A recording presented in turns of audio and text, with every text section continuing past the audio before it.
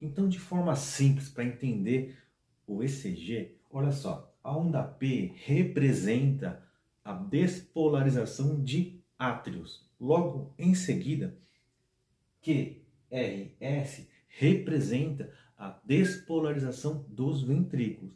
E posteriormente, a onda T vai representar a repolarização dos ventrículos.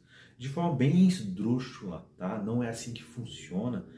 Que eu posso entender? Que a onda P é a contração de átrios, QRS, contração de ventrículos, e onda T, o relaxamento, a diástole dos ventrículos. Isso não é de forma simultânea, tá? Primeiro é a parte elétrica, depois a parte mecânica, tá bom? É assim que funciona para que você possa entender. Um abraço.